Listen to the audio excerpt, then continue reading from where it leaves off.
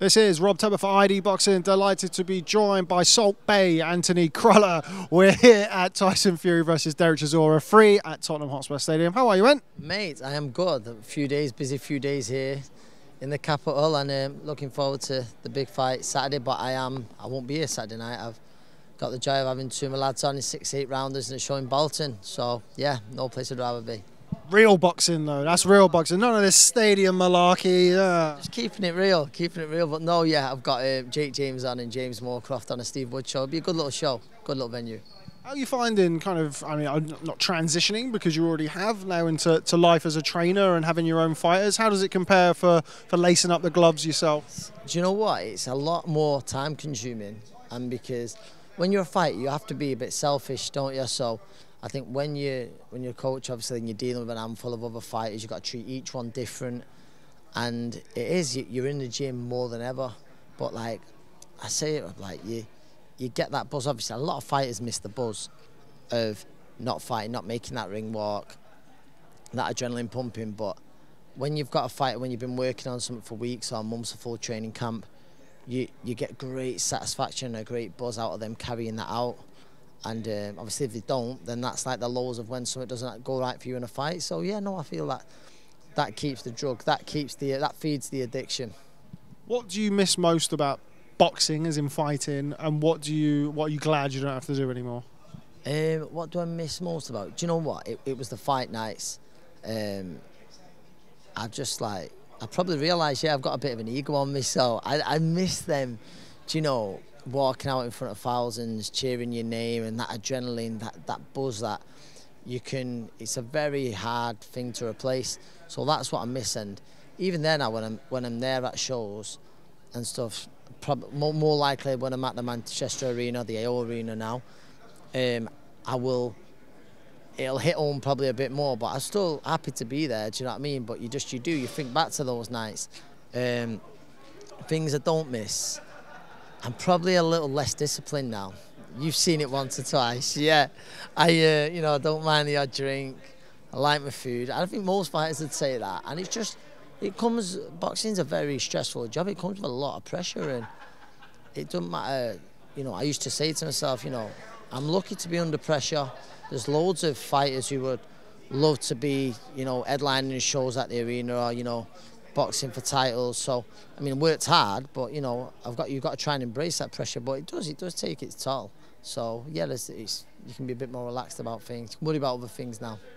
You mentioned there about kind of walking away from the sport. And it's something that we've heard both Tyson Fury and Derek Chisora talk about. Tyson has said, you know, he he's kind of admitted to himself that boxing's going to retire him, that he doesn't feel that he's going to you know, walk away from the sport with an unblemished record. I mean, I know Tyson kind of changes what he says depending on what side of the bed he gets out of in the morning, but you can understand that from what you've said there.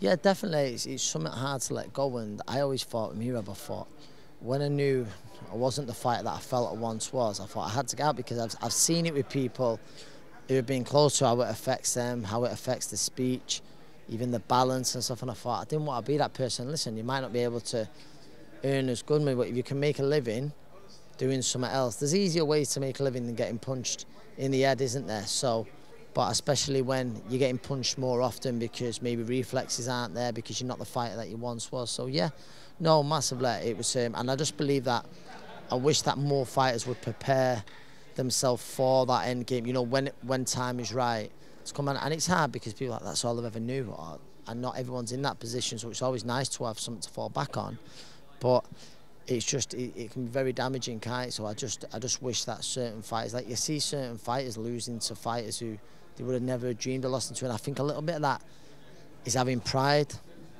and maybe sometimes it sounds a bit harsh because I don't mean it but they sell the pride because they think, no, I want the money. It's I won't get the money other ways, and they're, they're probably doing it for the right reason. It might be to support the families, it might be to pay bills, but yeah, I just think you know, try and keep your pride.